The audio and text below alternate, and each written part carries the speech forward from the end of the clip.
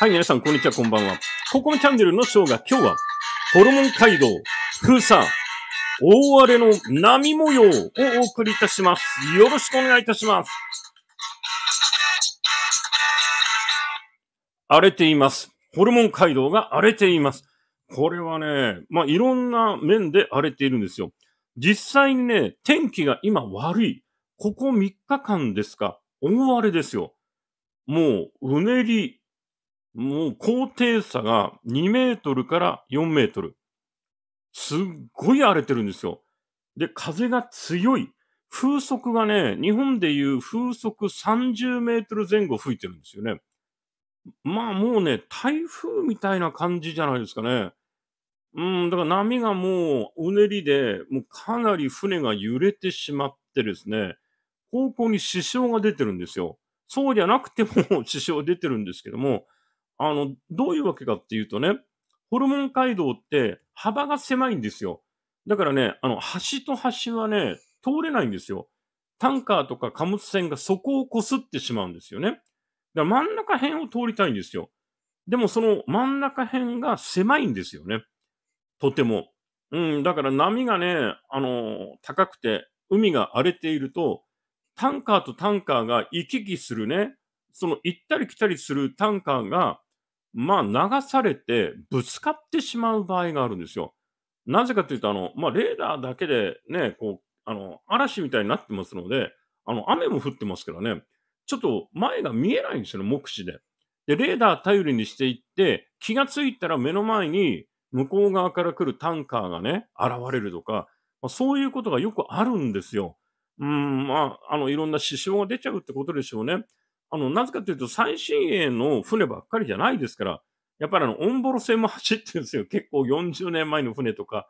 で、レーダーだって、もう壊れてるみたいなレーダーついてるんですよね。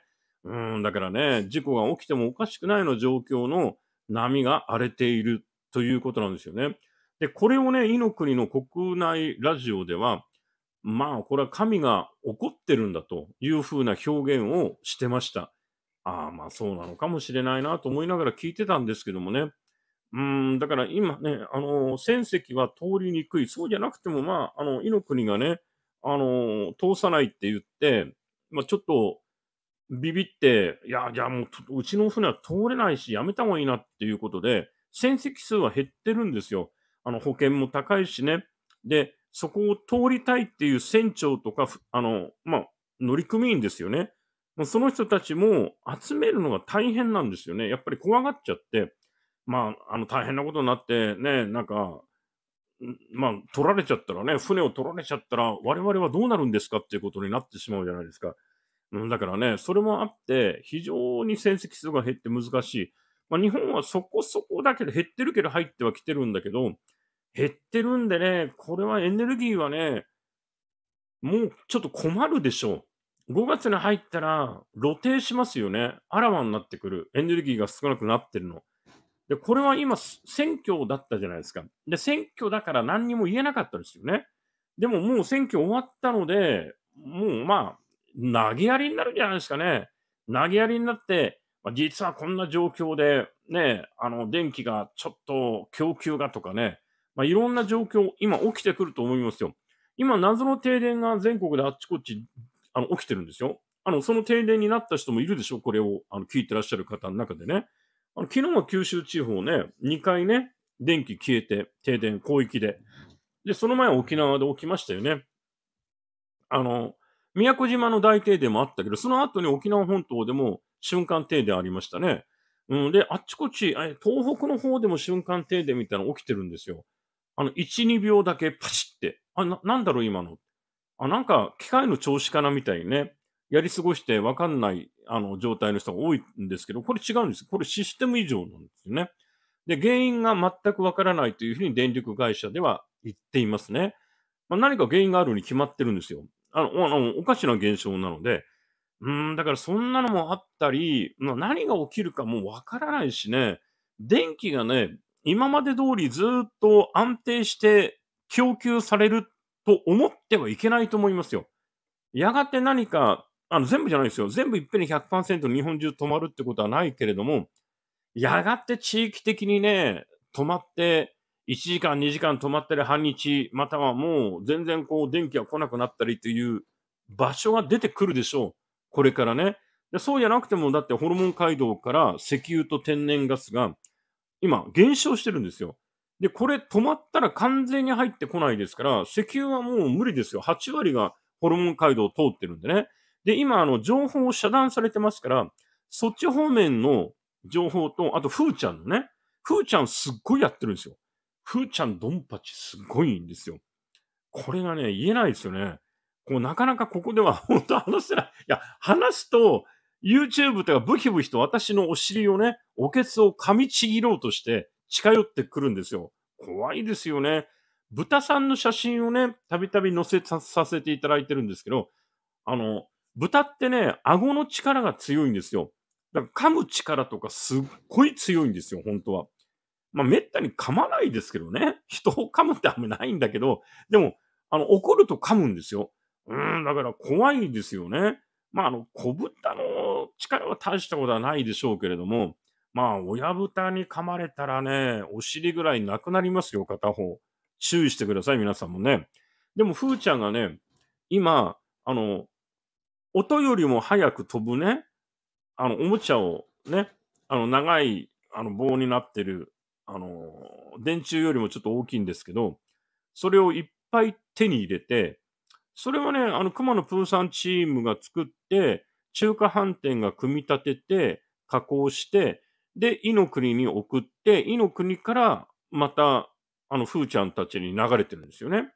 で、すんごいいっぱい送ってもらって、ご機嫌なんですよ。試し打ちも何回もやって、全部成功してね、わあ、これ使うぞっていう風になっていて、あの、間もなく使い始めるっていう情報が入ってきてます。これはね、あの、避けらんないし、あの、迎えて打つことできないんですよ。早すぎて。で、これを、え、じゃあどこに打つんですかと。ね、ふーちゃんたちは言ってます。いや、決まってんじゃないの。アメちゃんのところと、あの、ね、イギリスちゃんのところの、あの、ぐんぐんカンカンの土手っ腹に向かって打つんだよって言ってるんですよ。土手っ腹に向かって打つってはっきり言ってるので、まあ彼らはね、有言実行民族と言って、あの、お話をして言葉に出したら必ずそれを実行するんですよ。まあ、すごい誠実なのか、怖いのか、わかんないですけど、いや、本当なんですよ。だから嘘をつかないんですよね。まあ、嘘がつけないんですよね。あの、神様がいいるんでね。神様は心の中を見通してるわけですよね。そりゃそうですよ。神様ですからね。だからその神様に対して心の中で思うことと言ってることが違ったら、もうダメなわけですよ。それはやっぱり神様に対して、ね、あの、誠実に生きてないじゃないですか。だから、言うことと心の中と心の中ということが一致していて、心の中とということと一致していて、言うことと心の中一致していて、行動も一致してるんですよ。全部イコールイコールイコールで一致してるんですよね。だから彼らが、いや、その音よりも早いものを手に入れたから、あの、彼らの土手っ腹に打つんだよって言ったら打つんです。間もなくやるよって言ってるので、多分間もなく始まるんですね。恐ろしいことですよ。だからそういう情報ってもう入ってこないじゃないですか、絶対に。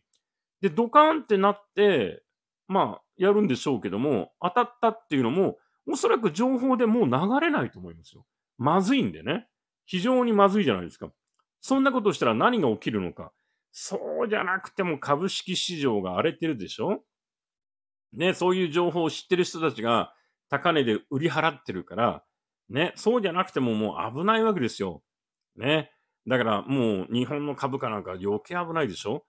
だから情報を遮断しちゃってれば、ね、あのーわかんないんだから、いつまで経っても、おじゃあこの株買うかなっていう人が いれば、株価が下がんないギリギリで持ちこたえるんじゃないかなと思ってるんでしょう。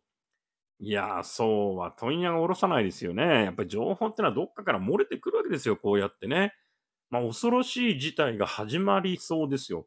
で、前から言ってるように、まあ5月、どっちにしても5月はもう表面化せざるを得ないですよね。そこまで、あの、要するに音の何倍もスピードが出るね、そういうアイテムを持ってそれを打ち込むって言ってるんだから、彼らはやるって言ったらやるので、それやるでしょう。で、やった時に、それ避けらんないんだから、それは沈んじゃいますよね。大きいものも。これ大ニュースになるから、それはさすがにね、あの、それを伝えられないようにね、なんか規制してってできないと思いますよ、もう。世界中から回って入ってくるからね。まあ今はでもね、あの、ほとんど規制して全く、だから、あっちのね、中東のね、真ん中の中に東って書くんですけど、中東の方の情報って一切目にしてないでしょ？ここ2週間ぐらい皆さん。で、YouTuber の方たちも中東の方の話をしてらっしゃる方って、もうほぼ話できてないんですよ。話ができないんですよ。情報が手に入んないから。唯一、もう本当私だけだと思いますよ。私直接手に入れてるので、だから、この番組を聞いてる YouTuber の方が、ちょっとアレンジして同じようなものを時間差で流してる方は出てきてますよね、何人もね。あの、いいんですよ、そのまんま。私はそんなあの、心が耳っちくないですから、どうぞ、あの、情報をね、あの、自分なりにアレンジして、ね、皆さんにお伝えいただければいいと思いますよ。本当にそれで。あのね、だけど、現地のね、情報はね、もう、厳しい。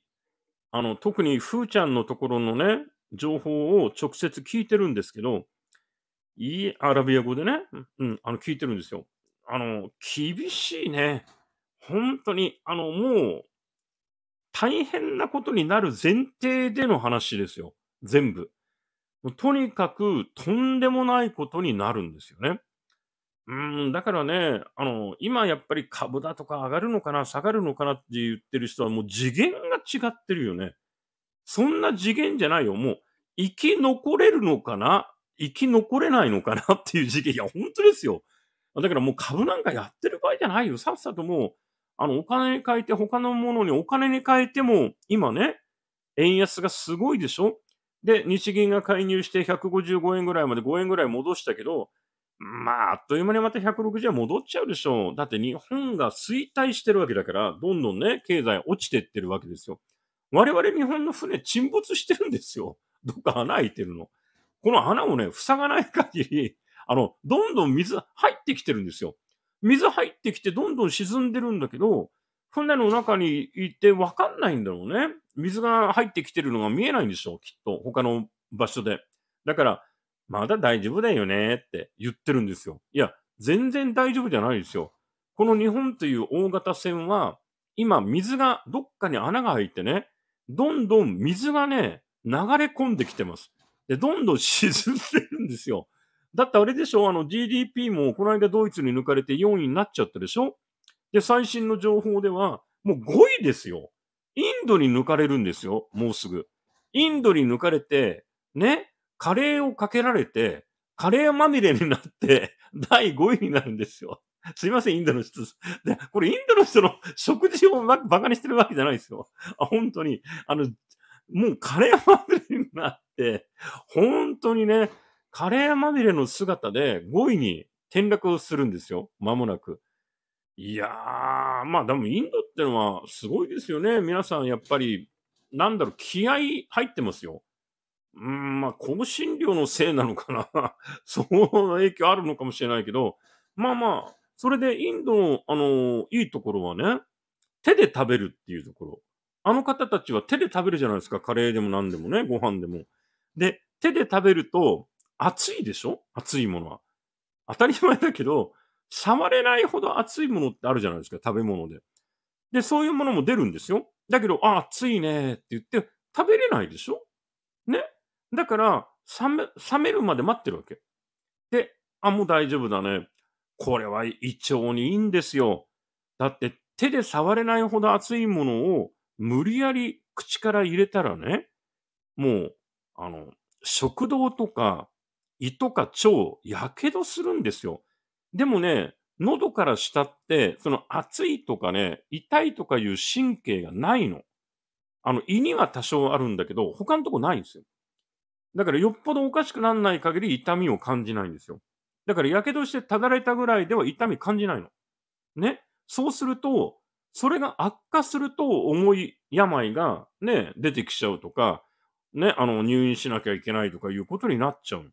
日本人ってそれ多いじゃないですか。なぜ多いかっていうと、熱いコーヒーとかお茶を平気でごくごく飲んじゃうでしょあと、熱いラーメンのスープとか、丼を両手でね、抱えるようにして、ごくごく飲む人いるじゃないですか。あんな熱いもの。麺だって熱いでしょ。だってラーメンの出来たてをラーメン屋さんに行ってね、はいお待ちって言って出されたものに、左手を突っ込んでみてください、今度。あの、インドの方みたいに、よし、食べるぞと思って手突っ込んでみてください。右手でも左手でも。やけどしちゃうでしょ。いや、大やけどだよね。絶対無理でしょで、そんな手を入れられないものを食べちゃってるんですよ。バクバク。ね。平気なわけないじゃないですか。だから、内臓の、ね、あの、ちょっとおかしくなってただれる、なんか調子悪いなっていう人多いんですよ、日本で。だから、インドの方ってね、ものすごく少ないの。なぜかって言ったら、手で触れないほど熱いものは、口に入れないんですよ。まあ、入れられないよね、手で触れないから。だからね、本当にね、あの、内臓の病気の人がすんごい少ないんですよ。まあ、その点では、だからなんでしょうね、その食文化の食べ方っていうのも、理にかなってるんですよ。手で食べるというのがね。だから、時々なんか日本でね、ちっちゃい子供がね、パブ、ピブ、パブーとか言いながら手で食べて、何手で食べてるの？ちゃんとスプーンで食べなさいとか言って 怒られるけど、手で食べてた方がいいんですよ。ずっと手で食べていけばいいかもしんない。ね。だからそんなマナーだとかなんだとか言ってね、体壊しちゃったら何にもなんないですよね。ね。だから、あのー、まあ、国によって違うんだけれども、いい点もありますよね。そうやってね。イタリアに行ってびっくりしたのね。イタリアの高級店ってね、ピザをね、フォークとナイフで食べるんですよ。本当ですよ。え？フォークとナイフを使ってピザ食べなきゃいけないの、ここはと思って、やたら高いところ。全然美味しい感じしなかったですよ。だってあれってやっぱり手で食べた方がいいですよね。うん、だからやっぱりね、なんか手で食べて美味しいものってパンもトーストもそうじゃないね。トーストも、なんかアメリカでも気取ったとこ、高級店行くと、トーストってやっぱりあのナイフで切って食べるんですよ。フォークで刺して。ね。なんかそんな風にして食べても美味しくないですよね。手で、あの、シャカシャカ、シャリシャリ言いながら、ね、カサカサ言いながら食べるってのはいいんじゃないですかね。まあ、最近バターも高いですからね、あの、マーガリンはどうなの体にどうかなっていう人も多いですから、ね、バター塗りたいんだけど、バターが高くてね、おおなんでこの値段はっていう値段になってますから、まあきつい。バターなくなるんじゃないかな、世の中から。だって売れないもんね、あんな高かったらね。パン屋さんで今、あの、バターパンとかバターがいっぱい入っているクロワッサンとか、バターの香りしなくなってきましたよ。謎の X が入ってるね、他の。わかんないけど何入れてるんだか。とにかくバターはね、あんまり入っていない。高いから。でもね、やっぱりお客さんからしたらね、バターの風味で食べるクロワッサンとかパンとかね、いいんですよ。だけど、それが感じられなくなっていくっていうのは、いやー、これは辛いな、悲しいなっていう感じしますよね。まあ、だんだんだんだん、あの、どんどん、だから、あの、日本という大型船が、まあ、沈んできてるんですよ。だってバターすら香りがないパンなんですよ。バターの香りがないパン。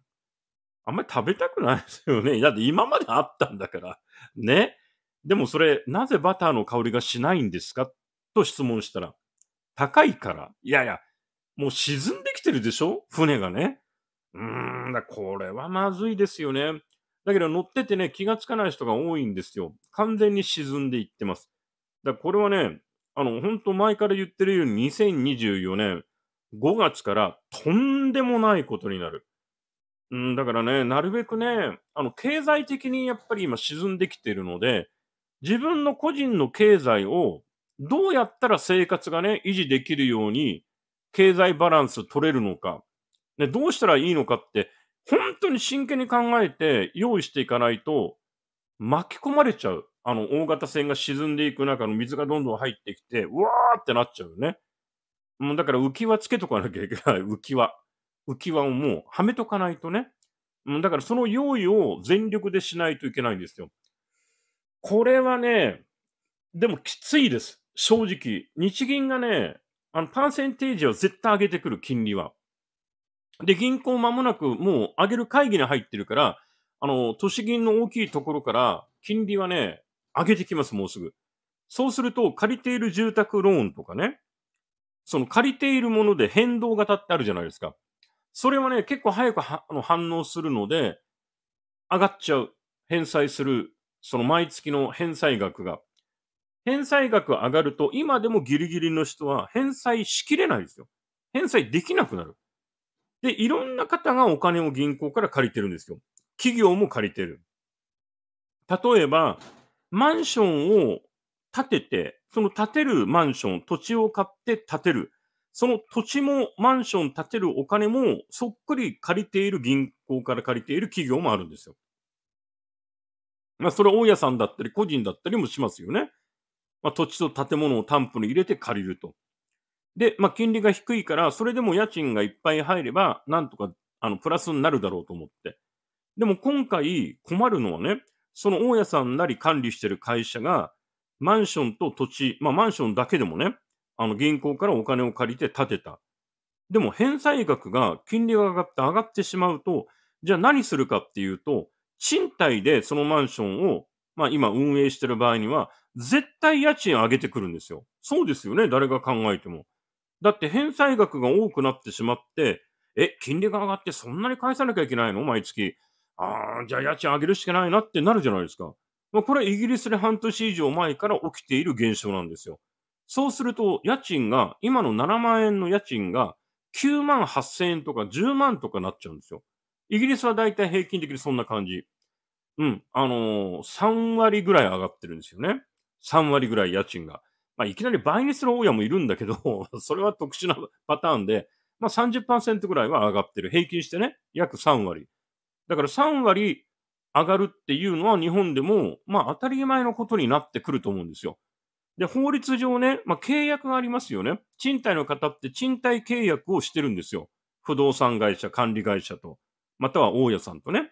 で、その契約の題名がね、2年とか3年とか1年とかついていて、定期契約ってなっていたら、これはね、2年定期契約ってなっていたら、2年で契約打ち切りなんですよ。で、全く新しい新規契約の扱いになりますよ、2年後にということなんですね。だから定期契約ってなっていた場合には、大家さんとか管理会社は1.7倍まで法律上、家賃を上げることが可能なんですよ。1.7倍。まあ、約2倍になりますよね。これはあの国が許してるの。だから、裁判やろうが何しようが、定期契約っていうタイトルで契約してる場合は負けちゃいます。100%。無駄。だけど、交渉しないよりした方がいいと思ったら、丁寧にね、いやー、でもそれはきついんですよっていう話をして、まあ実は私、あの、仕事がこうこうこうで、あ、ギリギリの状態なんですよっていう話を丁寧にして、少しだけどうにかなんないかっていう話はできる。だけど、下がるかどうかはまたわかんないですよ。まあ、大家さんとか管理会社が、いやー、無理だね。ちょっとうちもほんと相当きついんで、もうこれでお願いしますってなったら、それはね、払うか、それを契約して払うか出ていくかどっちかになっちゃう。だけど、その、契約のタイトルがね、2年普通契約、定期じゃなくて、普通契約ってなっていると、これはね、借り主側がね、法律上守られる契約なんですよ。だから普通契約ってなっていたら、いや、それはうちは受け入れられませんと。そんな高い家賃。うん。だから、今まで通りでお願いしますってずっと言っていれば、借り主側が強いので、そのまんま1円も家賃は上がらずに済むんです。これはね、裁判を起こされようが何しようが大丈夫。守られてるの。契約が普通契約だから。今までの継続をしていかないといけませんよっていう契約なんですよ。だから契約書によって違うんですよ。だからあの、賃貸は全部値上げを断ることができるっていう情報が出回ってるけど、間違ってるんですよ、それは。契約、自分の契約によって、種類によって違うんです。今の2種類しかないので、どっちかになってます。だから定期契約ってなってた場合には、これはね、きつい。上げてきます、必ず。で、もうそれ受け入れるしか、まあ、ほぼなくなると思いますよ。まあ、それはね、大変な騒ぎになりますよね。当然ね。うん、まあ、とんでもない家賃になっていくはずなので、まあ大変。だけど、え、じゃあよかった、うち普通契約なんだよね。なんか題名タイトルが契約書、ね、この YouTube を見て聞いてね、確認したら、あ2年普通契約って書いてあった。よかった。うん、安心。まあちょっとしていいんだけど、そんなにすごく安心できないの。なぜかって言ったら、大家さん側、管理者側はね、うん、普通契約か。これあげらんないなと思うから、駐車場代とか管理費を上げてくるんです。いや、そんなにバカ高く上げちゃいけないんですよ、それも。だけど、まあ多少上げてくる、それは。だそれはもうしょうがないかもしれない。ね。管理費3000円と駐車場代3000円上げますよと。もう両方で6000円お願いしますって言ったら、それはね、上げちゃいけないとかいうね、決まりがないんですよ。だからそれはね、えーってなるかもしれないけど、もう仕方ないかもしれない、それは。そこでね、喧嘩しちゃったらね、あんまりね、気持ちよくそこに住めなくなっちゃうね。うーんだ、難しいね。これはね。で一番最悪はね、2年定期契約なってなっていて、家賃をギリギリ1.7倍までね、2倍近くまで上げられちゃって、さらに管理費と駐車場代を 倍に上げられるっていうね。いや、そういう大家さんも出ますよ。本当に。もうぼったくり大家さんね。いや、そういうところ絶対出てくる。だからね、大荒れになるよ、5月以降。揉める。必ず。これは厳しい。あと日銀が、まあ、パーセントつけてどんどん上げていって、銀行がもっと反応して、もっと、あの、変動金利の返済のね、金利を上げていくと、これはね、あの、まあ、家賃の今みたいな形で影響出るんだけど、実際もう、その住宅、マンションなり一軒家を買って返済してる人の変動金利が上がるので、ローンを払ってる人は大変になりますよ、これから。えー、っていうような金額になる。うん、だからね、やっぱりね、これはきついですよ、世の中。だってそれ返済できなければ返済滞ってしまったら、まあいろいろね、あの、今だったら、今まだ緩いので、今だったらそれはね、あの、そうですか、ローンきついんですか、じゃあ、ちょっと金利を下げて、後からまあ金利を高くするような形で、あの、ローンの、あの、いろんなパターンで買えますかっていうのあるんだけど、あの、そういう状況になって、あの、2、3ヶ月先にね、金利が本当にガンガン上がっていった時には、そういう商品はなくなってますよ。本当それは今だからあるのかもしれない。あの、変わるからね、銀行は。銀行はね、ガンガン変えていくの。商品パターンを。うん、だからちょっとね、きついと思いますよ。だから余裕がないといけない。じゃあ余裕出すためにどうするかという話ですよ。ね。だから副業とか、まあ、もう一個何かちょっとアルバイト的に、パート的に何かじゃあやろうかなとかね。で、危ないものに手出しちゃダメですよ。わけのわかんないものにね。簡単にスマホ1本で月30万稼げるとかね。絶対やっちゃダメ。あと、確実に3万円稼げるとかね。そういうのもダメ。あの、そういう変な広告に乗っかっちゃダメ。あのほとんど危ないから。そうじゃなくて自分でね、何か、例えばいらないものをね、あのもう親戚だとか兄弟から、あ、これ、あの、売ってくれるとか安い値段で買って、まあメルカリで売るとかね。まあ、それだったらいいかもしんない。そういうのだったらね。まあ、あと自分の家の近くに、ね、いいものがあって、あの、そこに行って売るとかね。だから私の知り合いでね、あの、仲良くはないんですけど、ディズニーランドの浦安に住んでる人がいて、ディズニーランドの中でしか買えないなんか何かがあるって言って、で、なんか1年間のパスポートを買ってね、毎日ディズニーランドに突入して、で、そこの何にもアトラクションは乗らないで近くに住んでいてね、自転車で行けるんですよ。で、自転車でね、片道20分ぐらいかけて行くんですよね。で、ディズニーランドに行って、そのアイテムを買って、で、なんかメルカリかなんかで売って、それでプラス5万円とか、あの、常時毎月5万円以上作ってる方いますよ。なるほどなと思って面白い。ねまあそれはそこの血のりっていうかね、なんか環境的なね、ところがディズニーランドに近いので、たまたまできる副業ですよね。あ、そんなこともあるんだと思って。いや、面白すぎるけど、まあそういう方もいますよ。ねまあそれはそれで、まあ悪いことしてるんじゃないからね。まあでもそういう方がいると、え、だからいつもなんかあのアイテムないんじゃん、いつ行ってもとかいうね、なんか不満が出ることもあるかもしれないしね。まあいろいろですけども、まあ、生活するためにやむを得なくてやってるのかな。ね、しょうがないですね。まあ、だけど自分が考えて、なんだ、これで、あの、必ず5万ずつプラスになるんだと思って一生懸命やってるから、それはその人が開拓した、まあ、仕事といえば仕事になるわけですね。まあ、そうやってね、プラスアルファ出してる人もいます。うん、まあ、それをもう責められるような、あの、時代じゃないですよ。これから大変だから。